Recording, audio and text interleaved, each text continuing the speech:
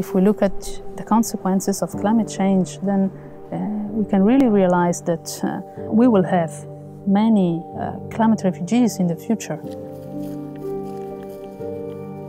The Refugee Convention doesn't include climate refugees into the refugee realm. So what I'm trying to do in my research is just to provide a sort of legal solutions in order to recognize climate refugees as potentially refugees.